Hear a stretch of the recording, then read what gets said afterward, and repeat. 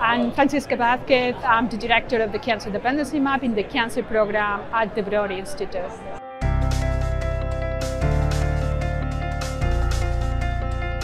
Cancer DepMap is an effort to identify systematically all the cancer vulnerabilities uh, so that we can use this information to identify new therapeutic strategies for cancer patients. Um, we uh, create large-scale data sets for this, and we make this data available for the scientific community, uh, and so the data can be utilized to identify new therapeutic opportunities.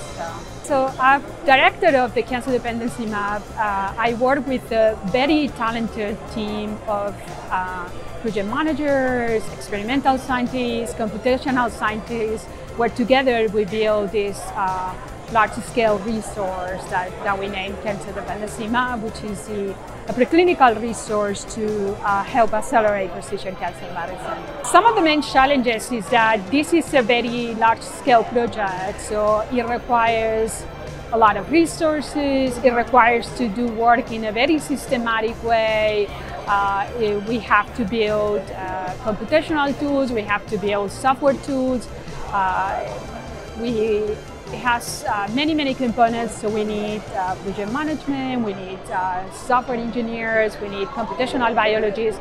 So it's a really, truly multidisciplinary effort. So it requires uh, putting together a team uh, with, with different expertise uh, to, to, to help with different aspects of the project. I think working with a multidisciplinary team is, is, is fascinating and I think it, it's critical for, for projects like this where they have all these multiple components. Um, yet each uh, team has a different area of expertise and they have their own language. But I think we, we manage uh, for everybody to, to work together and learn from each other. Uh, in my case, my background is in experimental science. I'm a cancer researcher. My background is in cancer biology.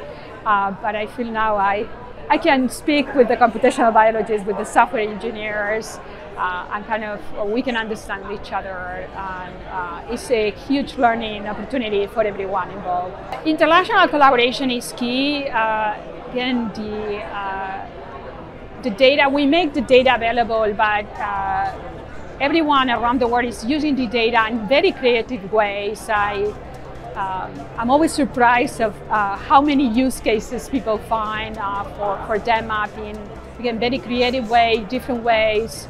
Uh, and, and I think that's key. These are very large scale data sets and um, they can be exploited in so many different ways that it, it would not be possible if we were just doing it ourselves. I think having this great collaboration uh, is, is critical. In addition, other people are also generating data um, there's uh, the space is huge. Other other groups are generating data that then we can bring together, for example, to our portal and, and, and enrich even further uh, this resource. So I, am excited for everyone to either use the data or contribute to the data, uh, whether are models, data sets, computational methods, uh, software tools, etc.